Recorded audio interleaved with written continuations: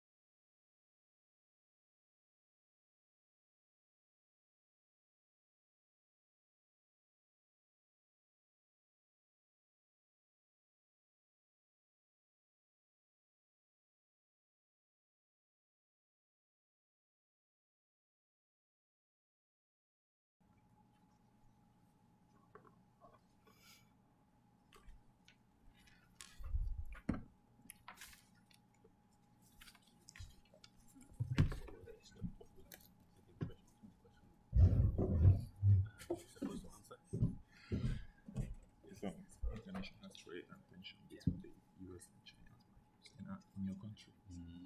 The impact of that? the income.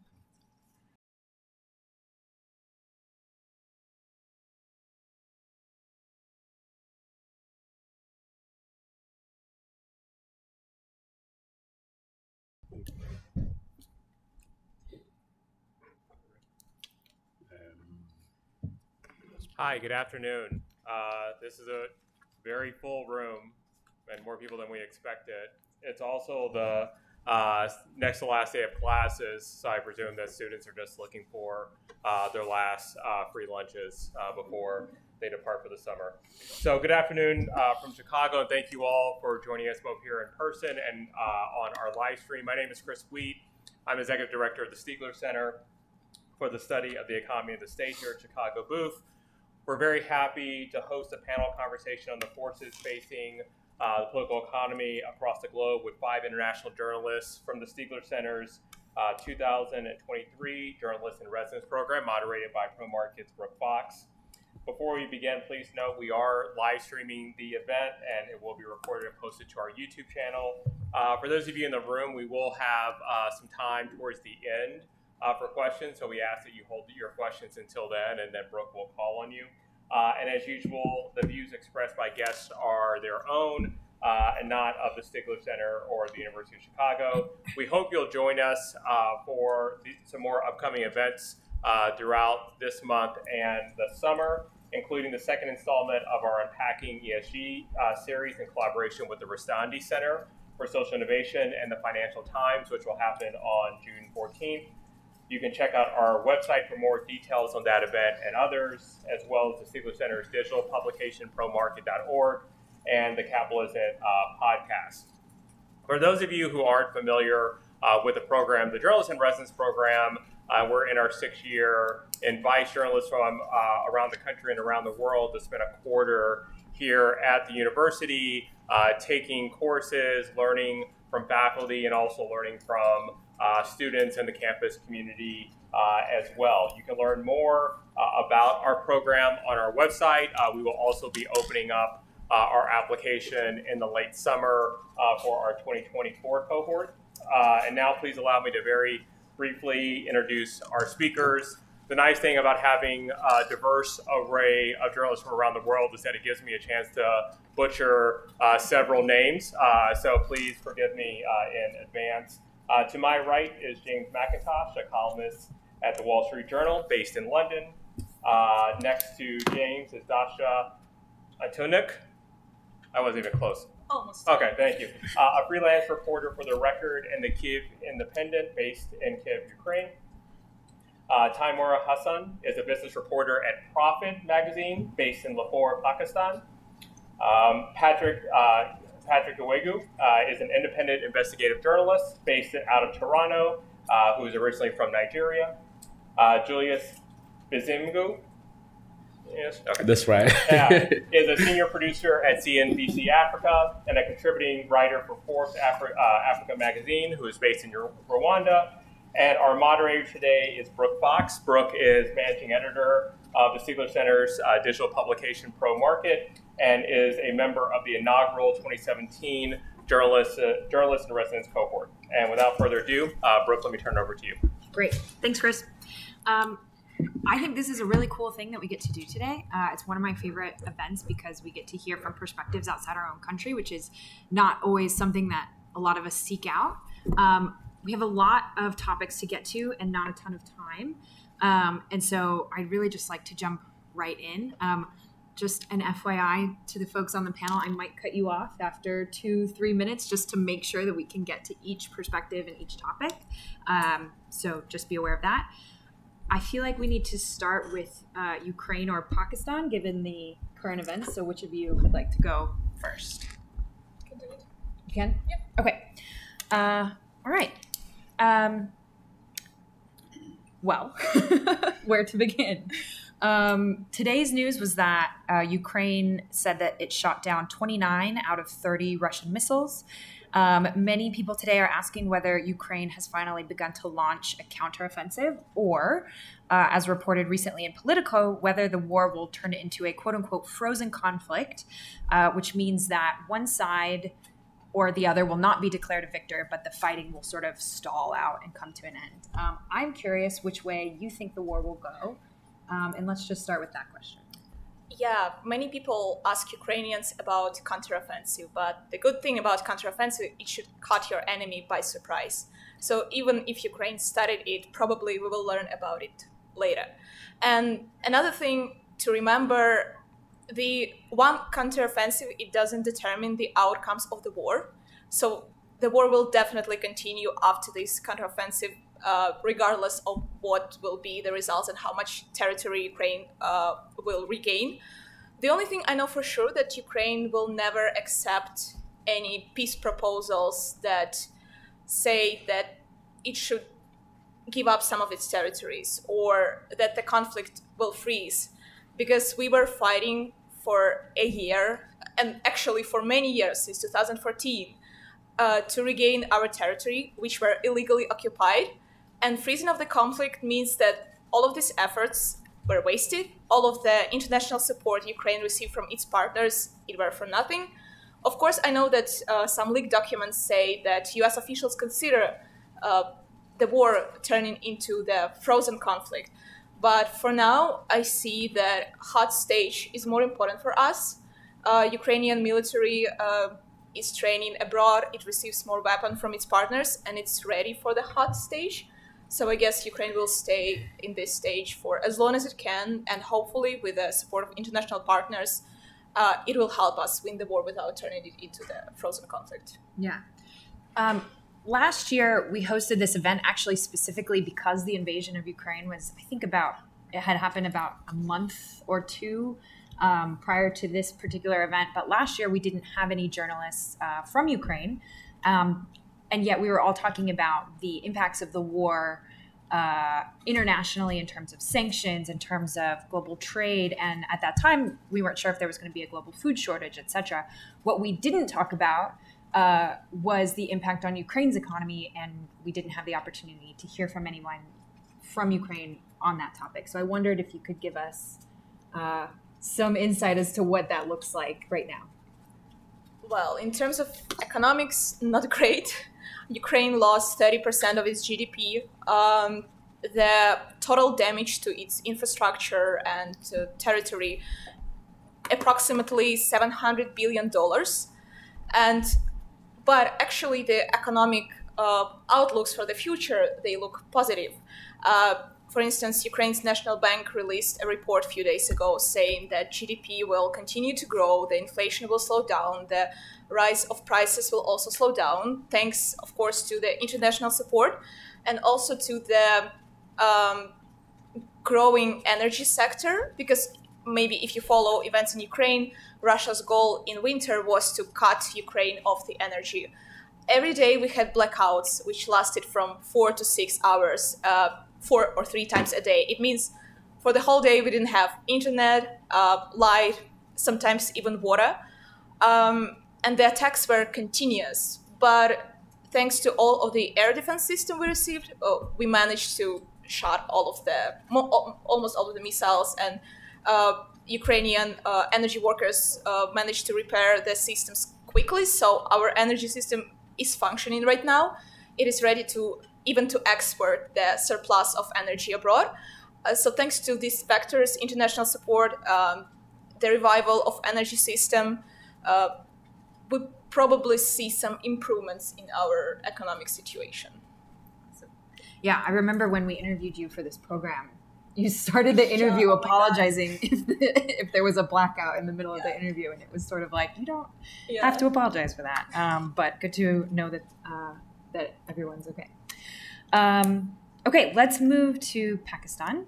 Uh, I I was listening to um, the NPR up first this morning, and they were talking about how the political situation has escalated uh, with the former pre- the former Prime Minister Imran Khan. Um, he's currently being targeted by the military, um, despite protests and support from many Pakistani civilians. Um, I wondered if you could uh, briefly, Taimoor, explain the political crisis to those who haven't uh, kept up with what's happening. Obviously, it's a quickly moving situation, um, and then uh, we'll sort of ask you about the impacts that it's had on the on the Pakistani economy. Sure. Um, so the current political crisis in Pakistan, uh, so it's it's right now it's um, chaotic, and I must come with full disclosures that it's nothing new for us. It's it's been like that for you know decades now. Um, but the recent political whatever is happening in Pakistan also has its origin in the Ukraine war. Um, this guy Imran Khan, he went to uh, Russia the day Russia invaded Ukraine um, to sign a two billion dollar uh, energy deal for just like to, uh, to buy cheap energy from Russia for Pakistan's energy uh, needs, and he probably did not know that Russia would have invaded uh, Ukraine on the same day. So this guy comes back, and the U.S. was very harsh with Pakistan because um, Russia is under sanctions right now.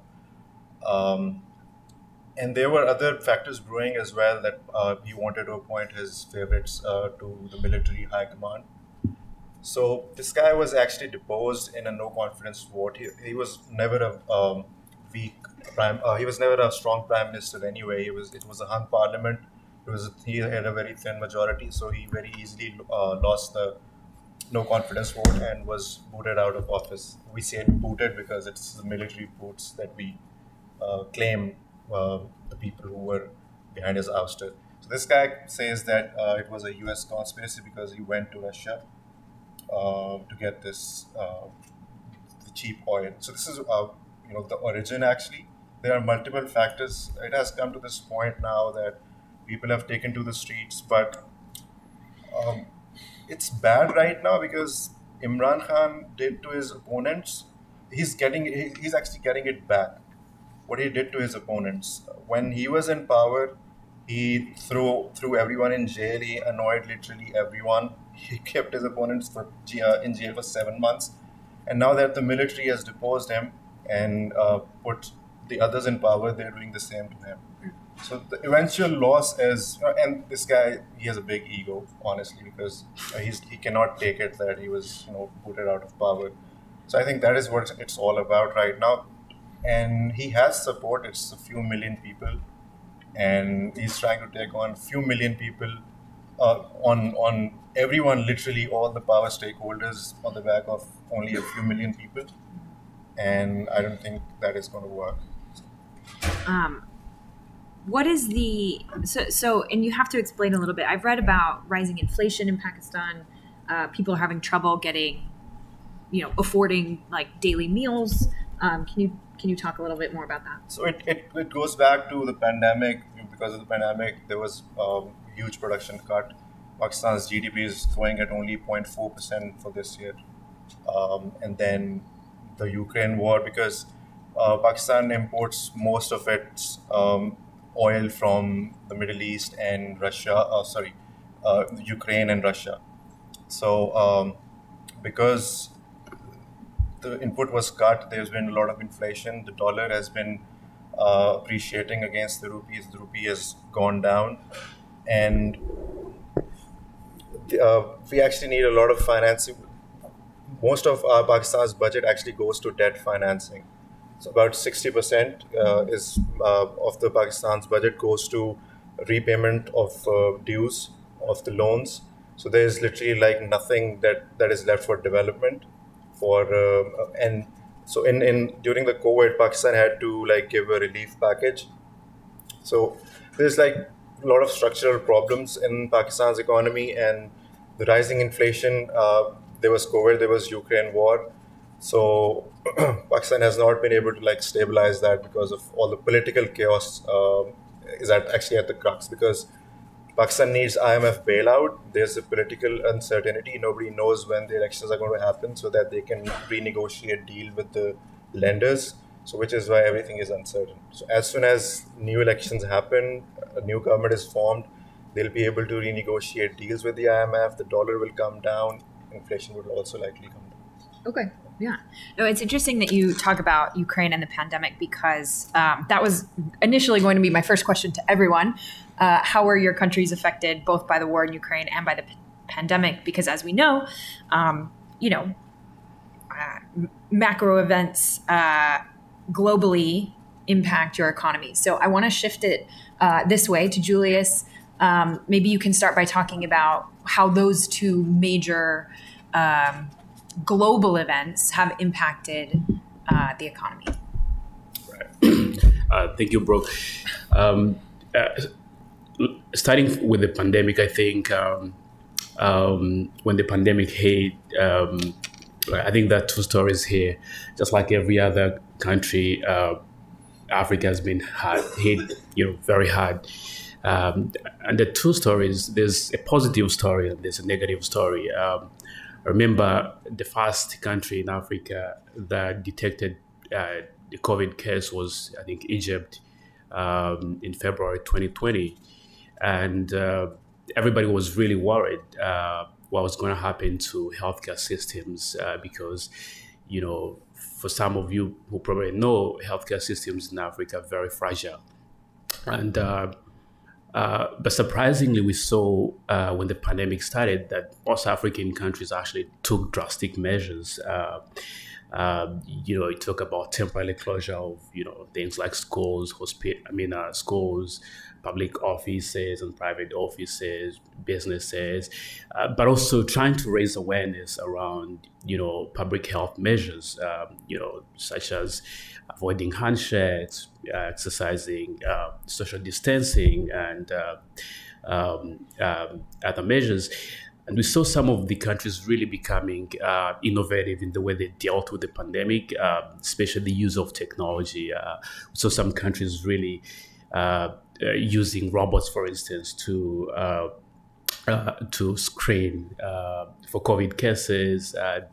Uh, the use of solar powered uh, uh, hand washing stations, the use of mobile applications to trace contacts, and so on. having said that, I think in the beginning, the, in the first two two years, we saw uh, the pandemic becoming really intense because uh, most people died. Uh, and I think in 2021, we saw around uh, 970 people dying almost every day uh, from the pandemic uh, across Africa. Uh, and I think by mid last year, the death toll had reached uh, around 250,000 people uh, dying from the pandemic. and mostly that is the case because, as I said, uh, most, most healthcare systems in Africa are very fragile. Uh, you have fewer doctors, you have fewer hospital beds, uh, you have, uh, you know, uh, no specialization in medicines. Uh, there's no capability in doing timely research, you know, in the healthcare system. Um, the other thing also that I feel was important in the pandemic story is uh, the vaccines because uh, I remember reporting a lot about how the world, you know, mostly uh, the developed world and companies like Moderna, Pfizer, AstraZeneca right, were racing to build vaccines. Uh, and finally seeing countries like the US, the UK, uh, starting to uh, giving these vaccines to their uh, uh, people. What was shocking, I remember sometime, uh, you know, going home and my little cousins asking me, "You've been talking about." Uh, we've been watching you on TV talking about vaccines almost every other month, but we don't see that happening here. What's going on? Um, there was a really harsh reality that most rich countries were actually holding uh, vaccines. And so, uh, as a result, it took so many, many months for Africa to access vaccines. And uh, as a result, you saw you know millions of people dying. There's I think one one study that came out uh, in 2022 saying at least more than one million pe- lives could have might have been saved if rich nations had shared vaccines more equitably with lower developing uh, countries. Uh, the key lesson, uh, you know, uh, what I would say the key lesson from here is that I think African countries are now learning that uh, it is very important to, you know, uh, increase public spending for healthcare, but also to be able to attract more private sector investments um, in the sector to build really resilience within their healthcare systems. And um, um, since then, I think we've seen countries like Rwanda, countries like Ghana, um, South Africa, Senegal, really coming out to start developing uh, vaccine manufacturing projects. Uh, I think in my country, Rwanda, uh, the government is now collaborating with uh, BioNTech to uh, develop the first mRNA uh, vaccine manufacturing plant. The same is happening in Senegal. Um, and I think when it comes to investments, there's a very big market. Just to be clear, I'm not an investment advisor, but people who want to invest, the the vaccine man, uh, you know market alone, I think, for existing and new products is you know expected to range from somewhere around 2.7 billion dollars to around 5.9 billion dollars up 20, 2040 yeah, you, Patrick, yeah. would you agree? Would did, did things go differently in Nigeria? How did how did? Yeah, uh, so I think I'm gonna um, mention. Um, I mean, um, I'm gonna mention a bit about Ukraine and I mean how yeah. the pandemic played out in in yeah. my country. So I mean, um, Nigeria and other countries in Africa um, heavily depend on Ukraine for grains and wheat yeah, I um, remember there was concern at the beginning of the pandemic exactly. that there would be a food shortage. Yeah, so uh, yeah, I mean, there was actually food shortage um, because um, of the invasion. I, I remember, I mean, um, at the beginning of the invasion, um, the United Nations um, estimated that more than 40 million people in sub-Saharan Africa would, you know, face food insecurity. so, I mean, we know the war um, affected, you know, um, distribution and supply of grain and wheat um, to Africa and specifically my country. So it's kind of affected, um, you know, in a big way. And um, but I mean, it, it's beginning to slow down. You know, um, Ukraine is beginning to, you know, export even amid the war to Africa and also my country. then regarding the pandemic, just like Julius said, um, African countries um, kind of um, did their best in tackling the pandemic, especially when, uh, you know, um, at the earlier stages of the pandemic, like, you know, during the lockdowns. And so in Nigeria, for example, we have also a fragile um, healthcare system. Um, if I'm correct, I think we have one doctor for 30 people. I mean, that's the ratio, I think. So we have lots of doctors um, in Nigeria, you know, migrating abroad, moving to the UK, to the US, because I mean, where they have better facilities, and I mean, the government back in Nigeria is not willing to invest in you know healthcare, so it's kind of affected during the uh, you know early stages of the pandemic.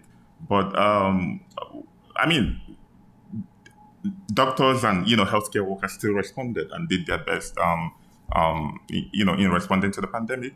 But I'm also, I, I must say that the pandemic affected um, um, food production and supply in Nigeria. I mean, um, these two channels were disrupted because, I mean, during the lockdown, everybody, smallholder farmers and small businesses were all locked down. You know, we are all at home. They couldn't go to the farm. They couldn't produce. So it's really affected even the country's GDP.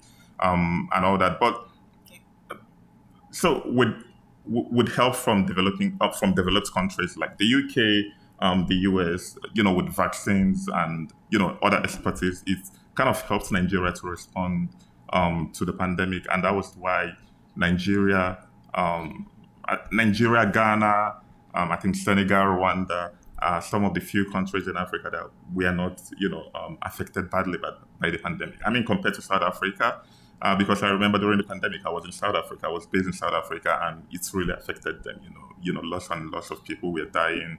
Um, I mean, so that that was how um, um, you know it played out. You know, 2020, 2021. Um, as we speak currently, um, we don't have much, you know, regarding the pandemic. You know, we we've we've kind of recovered from the shock from the earlier shock, you know, at the beginning of the pandemic, but now um, things are becoming things are going back to normal. Like, I mean, people are living as though um, we never had a pandemic, and so so, uh, the economy has come back. Exactly, um, but it's really affected it. So more like um, you know the aftershock, um, kind of recovering from it, and uh, that was how you know it all played out in Nigeria. Okay. Mm, Brooke, if if I may add, I think, or the the the, the Ukrainian war, uh, I think, uh, had a major impact on the, especially the the agriculture sector because uh, you think about uh, collectively collectively um, African countries, I think, get you know forty four percent of the uh, grains and cereals uh, imports from Russia and Ukraine, and so when the pandemic hit, you saw especially last year, prices of wheat really growing, I think, by more than 60%. Yeah, I'm surprised you're, the, you're you know, yeah, mentioning inflation. Yeah, yeah, I wondered, yeah, I wondered when we would get Yeah, so it's, it's, uh, it, it, made it worse, especially for countries uh, in the Horn of Africa and part of the West, Af- West African countries that were depending, uh, you know, heavily on uh, imports from uh, Russia and, uh, and Ukraine.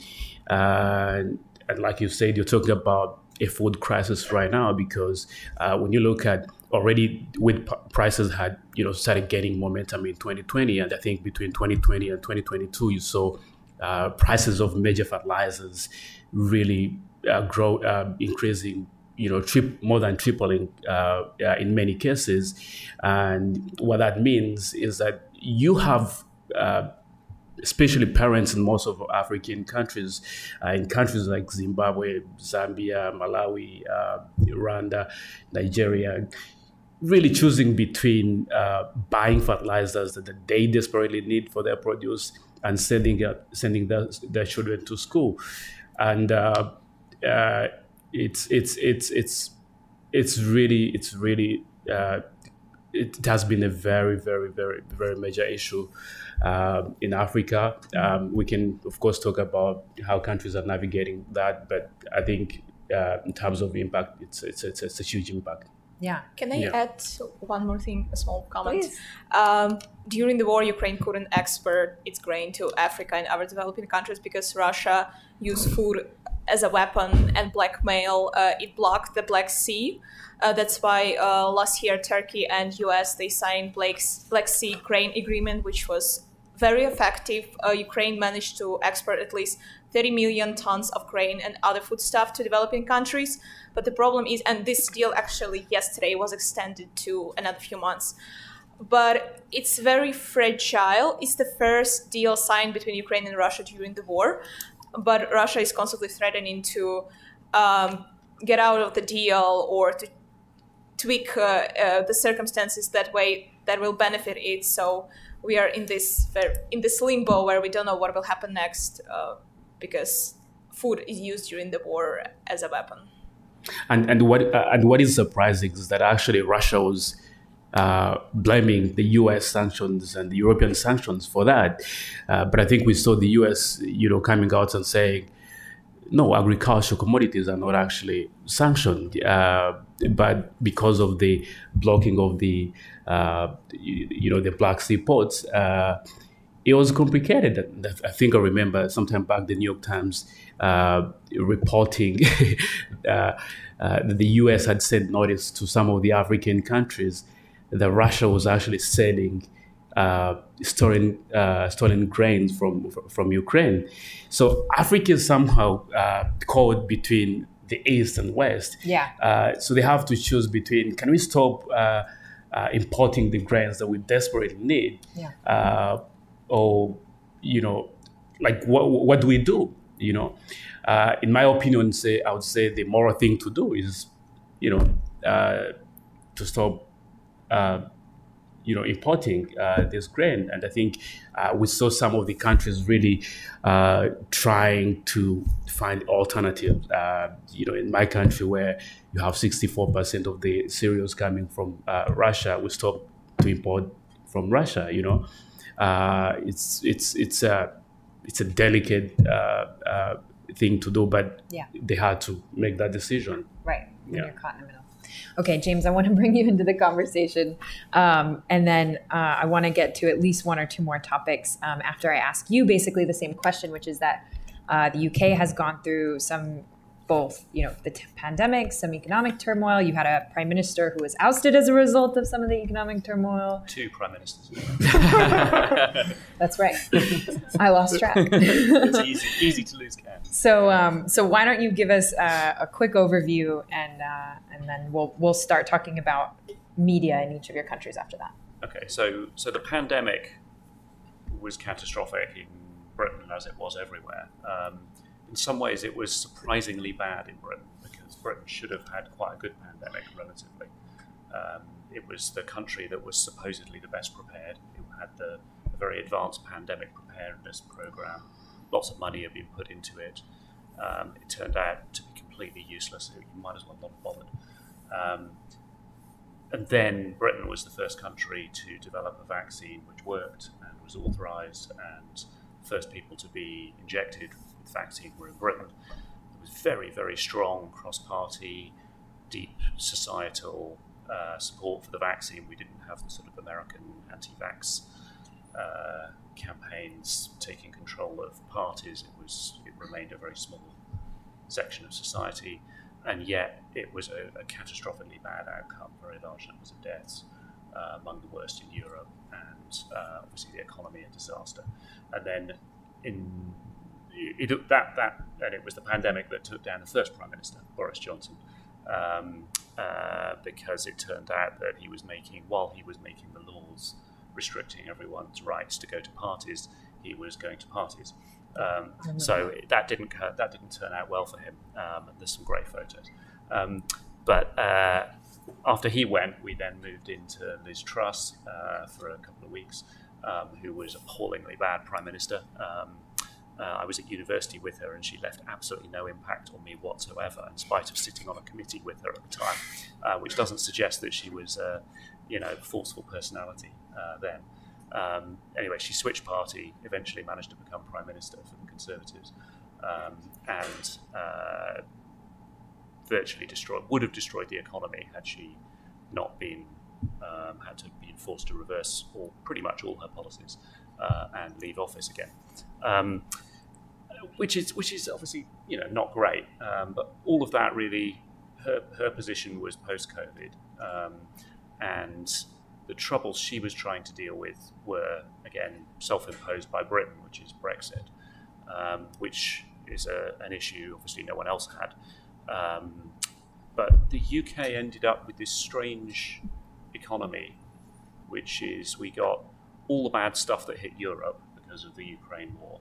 So all the supply side troubles, particularly soaring energy crisis, which obviously in the US was not so bad. Um, and then at the same time, Britain had all the inflation problems that the US had, um, with wildly low unemployment, um, uh, all the same big switches in demand and so forth. And inflation has turned out to be as high as at the peak in the US, but just hasn't gone down again. Um, so there's a real problem going on in the economy at the moment, um, and it's not looking great for the, the third prime minister. Um, but he's got another year to go before he has to face the electorate. Okay, well, let's hope it let's hope it goes better for him and that you can maintain some sense of uh, stability.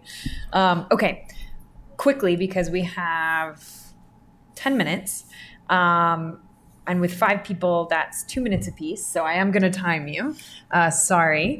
Um, but I, you know, one of the things that we talk about is uh, a well functioning press. At least, you know, in the US, we talk about a well functioning press leads to a well functioning democracy. And we believe, well, to, to varying degrees, that a well functioning democracy and uh, a capitalist society are a good combo generally for uh, economic outcomes. So, uh, with that loose tie-in, I just want to hear from each of you a little bit about um, what it's like to be a journalist right now in your countries. Um, what is the media environment like? Are you uh, uh, are you finding lots of differences between the U.S. media environment and your respective media environments? Um, and I'm going to start the timer. And Taimoor, let's start with you. Sure. And yeah, in, in Pakistan, this is like, it's it's a very sensitive topic, so I must choose my words carefully because it's live streamed as well. Um, recently had a journalist who was killed in Kenya. Um, nobody knows, but everybody has a guess who it was. I'm not, I cannot say on, really on live stream who I think uh, murdered him, but even right now there's journalist who is missing. So the media environment in Pakistan is very hostile. There's a line that you cannot cross with certain people, and it comes with undesirable consequences if you do that. Um, so that's that's that's like the way they use uh, violence or threat of violence to you know suppress you, and that's that has got to do with the overall uh, lack of rule of law in the country. Um, I think the other uh, censorship that comes uh, in journalism, which is particularly harsh in Pakistan, is um, the business of running a publication. It's becoming increasingly difficult to run a, bus- a publication house because of um, high inflation costs. Um, you know, in Pakistan, everything is imported. We, we do not have a localized like production. Um, even the ink that we use is imported. So as the dollar goes up, uh, publishing becomes costly. You know, people are not willing to afford that, and as a consequence, um, it actually, you know, uh, it, it is it is altering the concept of, of journalism itself because people are then looking for alternate sources of income. And actually, one of the things that Imran Khan, Prime Minister Imran Khan, uh, did when he came into power was that he cut off. Uh, he he said that he was not going to pay uh, dues to media houses from the previous government. I mean, the previous government was actually one of the biggest uh, ad buyers for media houses. so yeah, economic is, economic censorship is, I think, it's it's making it more difficult. Well, being a journalist in Ukraine during the war is not fun at all. Just imagine sitting in your apartment during blackouts without light, internet, uh, using your neighbor's Starlink for satellite internet. When you hear the air raid alert howling outside, the distant sounds of explosions, the air defense at work, and you're like, I need to go to the bomb shelter, but you cannot because bomb shelters look like cages most of the time and you cannot work from there. So yeah, this is what my routine looked like most of the time. But another more global change, uh, more national change that happened uh, with Ukrainian journalism, it's really hard to find a balance between being a journalist and being a patriot. Because as a journalist in Ukraine, you cannot talk about everything. If it was like a real story from my life. I saw uh, a missile fall into the building uh, across my street. It destroyed it almost completely. And I saw where it happened when it happened. But I couldn't just take a picture and post it because otherwise Russian media, or, or because Russian um, defense, they will see this, they would see this picture and they can strike again. So, as a journalist, we are not allowed to post pictures from the places where the missiles fell or where we see our air defense at work. Uh, and the same about counteroffensive, uh, about what kind of weapon Ukrainian military uses. It's really hard to find this balance and to know exactly what kind of information you can disclose and what you cannot. Of course, when it comes to corruptions, for instance, because we know that corruption during the war is flourishing, didn't disappear, unfortunately. Um, so when uh, one of the major Ukrainian media reported about the corruption scandal in Ukraine, uh, many people were outraged that it destroys Ukraine's image, uh, it impacts the foreign aid. But we need to talk about these issues. And actually, Zelensky, after that, he reform, reformed the procurement of uh, food to soldiers. Uh, it reshuffled the government. So we just need to find this balance uh, uh, of what we can talk about and what we cannot. But most of the time, we choose to tell people stories that matters. Yeah. Gosh, we need Sorry more time. Sorry for exceeding your limit. Of No, time. it's okay. Julius, go ahead. Um, I also have to choose my words very carefully because I still live in my country, and um, uh, but to be honest, it's not uh, it's not easy to be a journalist, especially in Africa. Um uh, nobody cares about you. Uh, nobody cares about your life. Um, so it's not easy. That's for sure. Um, who controls the narrative is, you know, it's the government, and uh, uh, most times you find yourself in trouble for reporting about even things that are as as, as simple as you would, you know, uh, imagine. But the other thing is also uh, it's not just the government, but also corporations. Uh, uh, in the in the in the in the business uh, news uh, where I am, I think you always always find you know yourself in a lot of trouble reporting about, let's say, corporations that are, let's say, using you know child labor uh, in Mino uh, uh, resource countries like DRC or even Zambia. Um, uh, and, and, and I must say, I think mo- mo- most of the media corporation and media organizations, or even the journalists in general, uh, who talk about this, you know, corporate capture. I think the media is captured by the, uh, by you know, by the corporates, uh, especially those that have vested interests. Um, and then there's a very big issue about human rights, um, and I think um, uh, there's a need to um, you know to advocate for the change. Uh, who's supposed to do that? I don't know. You beat the timer. Yeah. All right, Patrick. Yeah, I mean, so I must say that Nigeria has um, a vibrant, you know, media um, industry, and um, but I must al- also admit that um, Nigeria is a dangerous place to do journalism, right? Because um, um, I currently have a friend who is on exile, a journalist. I mean, because the government was attacking him, and he had to, you know, leave Nigeria. Um, my colleagues have been attacked, you know, detained, um, harassed, and you know, arrested for you know doing their job. Um, so in February we had our general election, and more than twenty journalists were either arrested or detained or harassed by security forces. Um, and I mean, just like Julius said, so corporations also. My friend did an investigation two days ago um, about medical negligence by Shell. I mean, which is um, a a big oil, you know, company. And after the after the investigation was published, um, officials at the company reported his account to Twitter, and he was suspended, uh, restricted, or whatever. Um, I mean, these are part of the challenges, you know, um, you know, journalists back in Nigeria face. But I mean, despite the challenges, we still have, um, I mean, my colleagues back at home who are staying back in Nigeria, exposing corruption and, you know, doing their reporting despite, you know, the attacks, you know, from the government.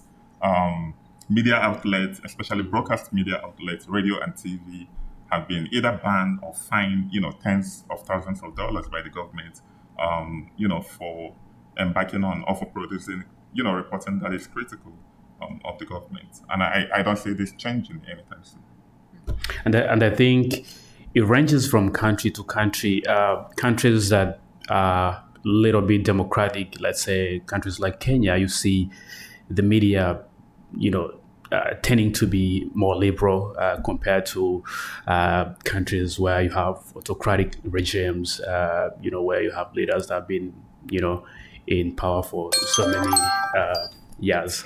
Yeah. All right, James. I imagine it looks a little bit different for you, but you tell us. Yeah, I haven't I haven't been worried for my life at, in in any of my reporting.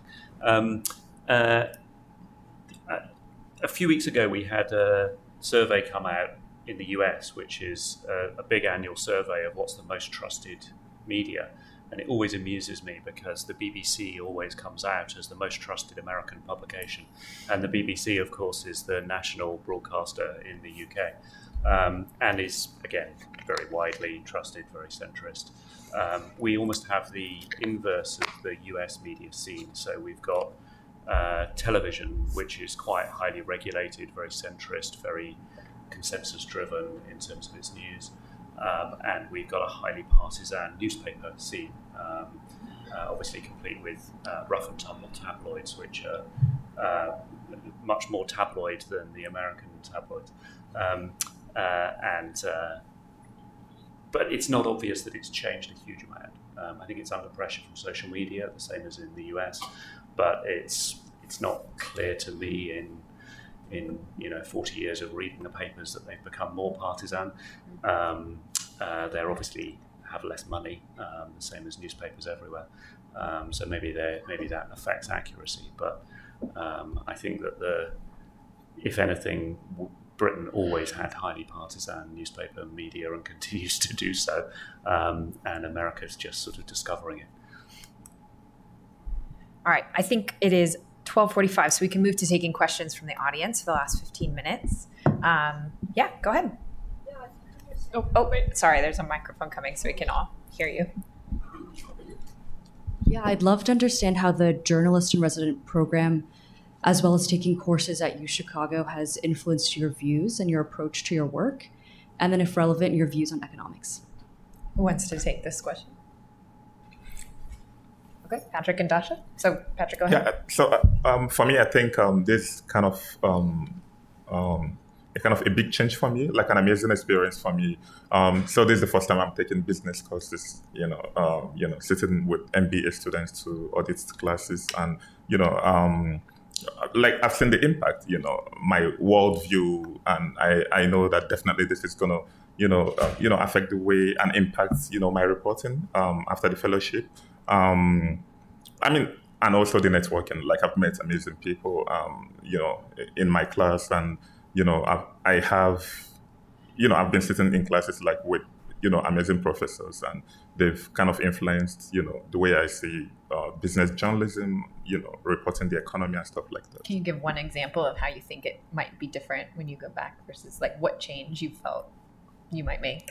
So okay. Um, so I think the way I incorporate like data to my reporting is going to change going forward. Um, I mean, that is from one of the classes that I that I'm taking currently, and that is um, marketing strategy, to be specific. So you know, um, incorporating data and kind of having um, a shift, you know, from the way you approach, you know, marketing and you know, um, improving your skills on strategy and and all that. So it's gonna definitely have an impact um, when I go back. Nice. Dasha? For me, it's more of the mindset change. Um, one of my favorite classes here is Perspectives on Capitalism, and we talk and read a lot about capitalism. By a lot, I mean a lot. Um, and I never thought about capitalism in that way. Like Ukraine was under USSR for many decades, and we just started to realize what capitalism means for us and what Western values and economic freedoms means for us.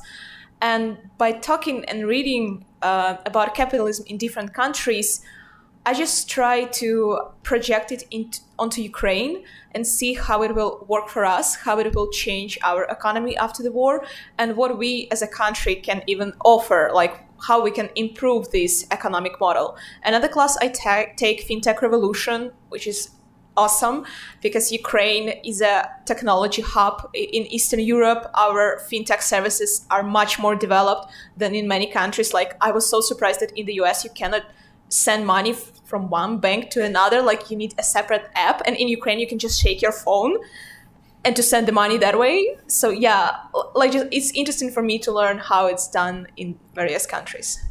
Yeah. Uh, can I add also? Um, I think I was jokingly telling people back home that you don't realize how dumb you are until you get to the University of Chicago. uh, it's uh, yeah. there's there's there's there's a wealth of knowledge uh, really to uh, you know sitting in in those classes with uh, you know MBA students and.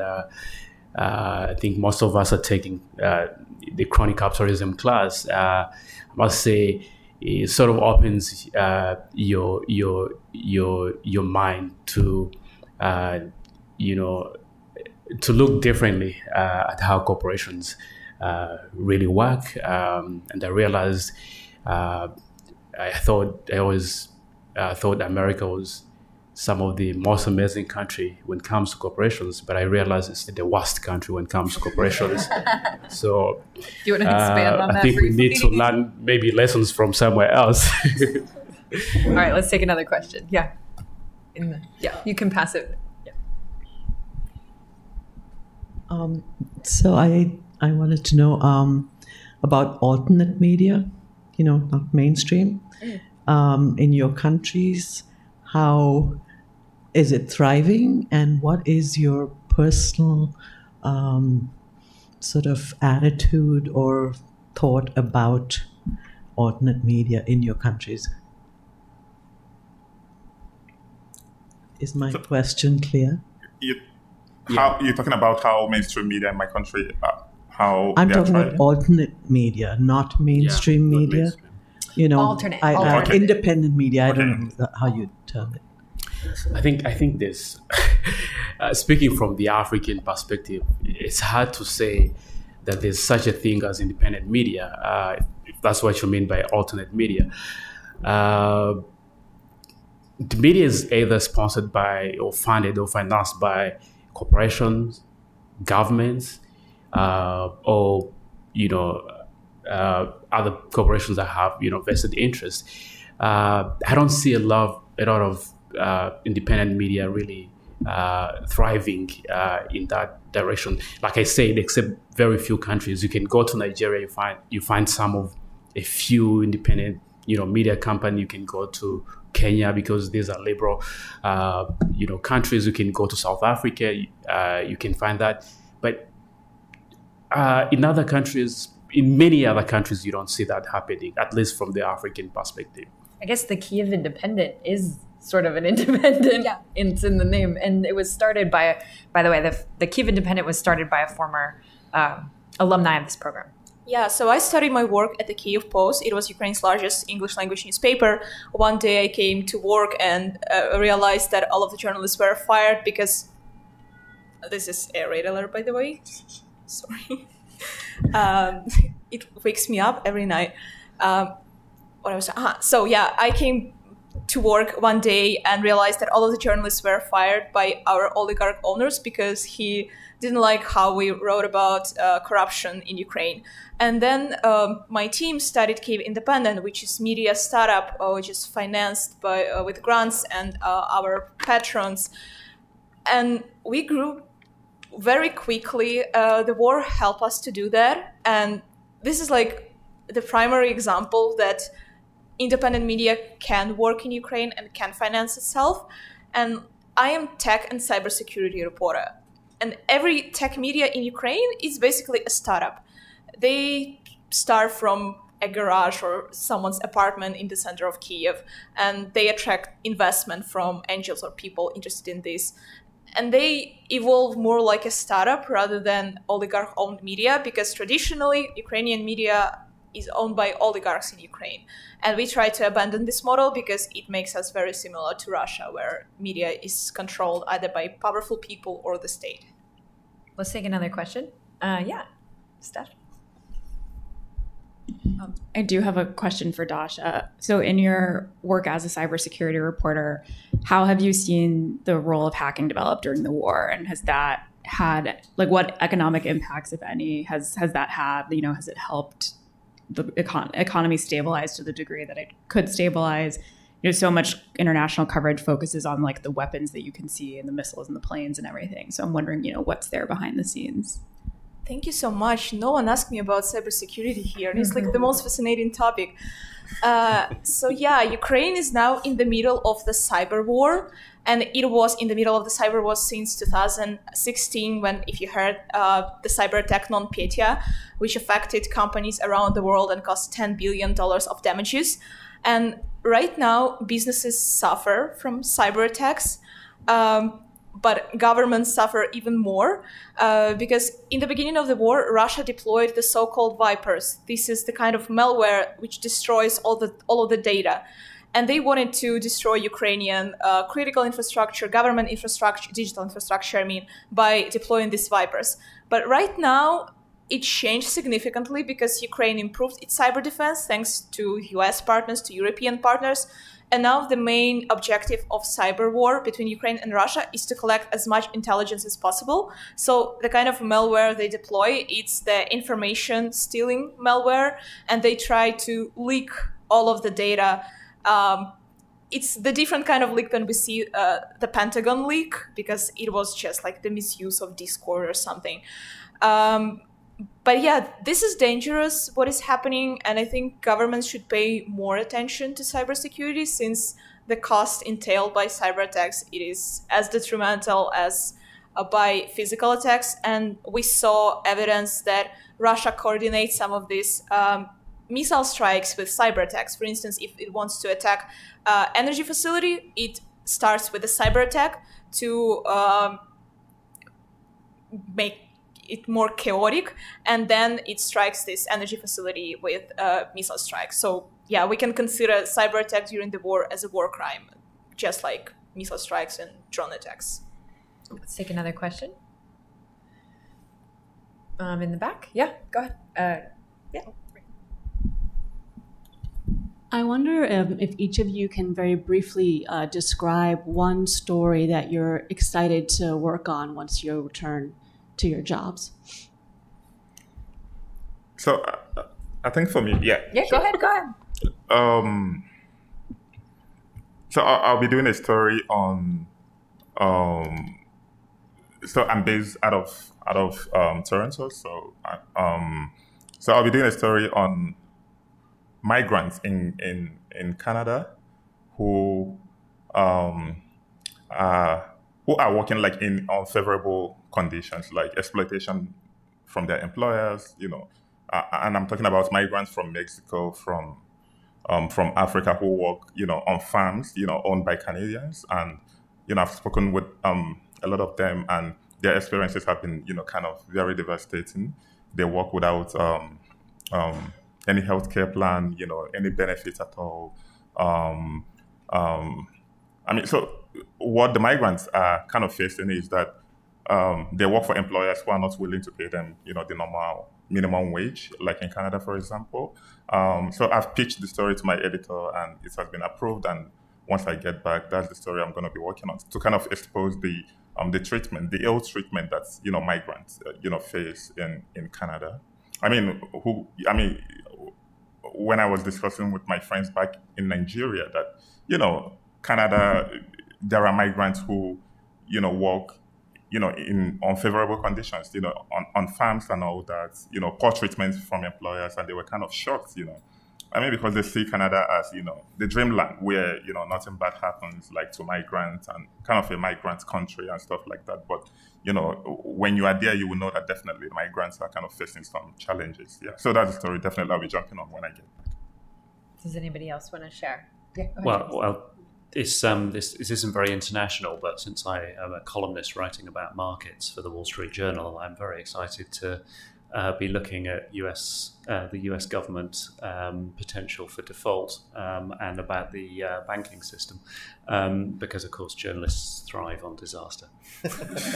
Anybody? Yeah, this is the answer probably no one expects, but I will be excited to write about quantum computing because I am a quantum computer nerd. And last week we had a lecture with David Oshman, who uh, Awschalom, yeah, who teaches here in the University of Chicago. And like I wrote about cybersecurity, about quantum computing a lot when I tried to convince my editor that this actually matters. Uh, so yeah, after talking to David and he agreed to talk to me after the program, I, I will be excited to write something on this topic. Patrick, you haven't answered any questions yet. Do you want to? You want to? Sorry, Patrick. Come on, go ahead. Yeah. So I took this course which Julius was also talking about. It's called crony capitalism. It tells you how vested interests work. So um, I've been thinking a lot if Pakistan's vested interest is like, is it like a sophisticated vested interest or not? and so I'm after going back, I'll be like focused on researching and writing about if Pakistan's vested interest is breakable and how to break it. You have to send that to us when it's ready. So Julius, do you want to? We if can I'm end. not killed before. Please stay safe. Um, Yeah, Julius, you um, want to go ahead? I, I, I can't point out uh, one specific story, but I think uh, I've been you know thinking about a couple stories, especially. Uh, I'm not a fan of corporations, to be to be honest. Um, I think most of the stories that I'm going to be doing uh, is to sort of hold uh, corporations more accountable. Uh, and most of my stories are going to be based on that. Um, you know, things like uh, investigating practices of telecommunications corporations, uh, uh, monopolies in, you know, I mainly cover Eastern African regions, so I'll be looking at uh, monopolies in, in, in different sectors within those countries. And um, let's see. All right. I think that was a great question to end on. Um, of course, you can go read uh, all these stories when they come out by following uh, these folks' bylines. Um, and thank you all for coming.